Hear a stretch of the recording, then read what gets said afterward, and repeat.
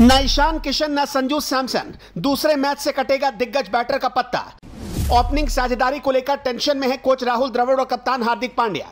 IPL के बाद नहीं चल रहा इस बैटर का बल्ला। इंग्लैंड के बाद वेस्टइंडीज में हुआ फुस। अब बेंच पर बैठना तय, युवा बैटर करेगा डेब्यू, पहले ही गेंद पर मारता है सिक्स।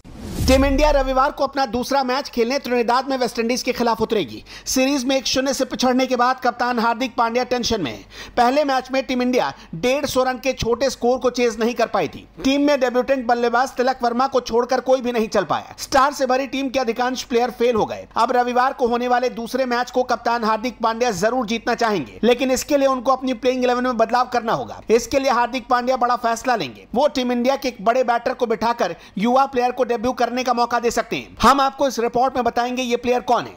भारत और वेस्टइंडीज के बीच रविवार को पाँच टी की सीरीज़ का दूसरा मैच खेला जाएगा। पहले मुकाबले में टीम इंडिया डेढ़ रन के टारगेट का पीछा नहीं कर पाई थी और चार रन से मैच हार गई थी। तिलक वर्मा को छोड़ दे तो पहले टी में कोई भी भारतीय बैटर अपनी छाप नहीं छोड़ पाया। डेब्यू टी में तिलक ने एक के स्ट्राइक रेट से बाईस गेंदों में उनतालीस रन ठोके थे।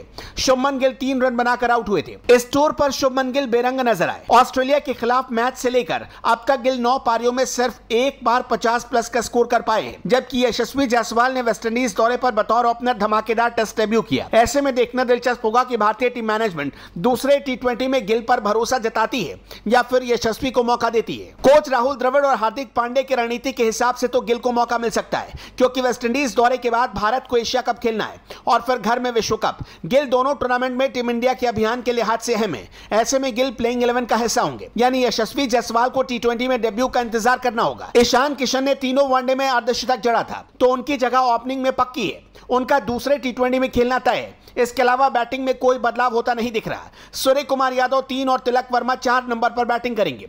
इसके बाद हार्दिक पांड्या खेलने आएँगे और संजू सैमसन मैच फिनिशर का रोल निभाएँगे। संजू भले ही टी में नाकाम रहे हों, लेकिन टीम मैनेजमेंट उन्हें एशिया कप से पहले और मौका देना चाहेगा। बॉलिंग डिपार्टमेंट की अगर बात करें तो पहले टी में कुलदीप यादव और युजवेंद्र चहल दोनों का प्रदर्शन अच्छा रहा था। दोनों ने तीन विकेट झटके थे। कुलदीप ज़्यादा किफायती रहे। हालाँकि अक्षर पटेल ज़रूर महँगे साबित हुए थे और दो ओवर में बाईस रन लुटाए थे। लेकिन रविंद्र जाडेजा की गैर हाजिरी में वो ऑलराउंडर की भूमिका निभाते नज़र आएँगे। तेज गेंदबाजी की बात करें तो अर्शदीप सिंह भले ही लाइन लेंथ से भटके नज़र आए, लेकिन उन्होंने दो विकेट झटके थे। मुकेश कुमार ने डेब्यू किया और तीन ओवर में चौबीस रन दिए थे।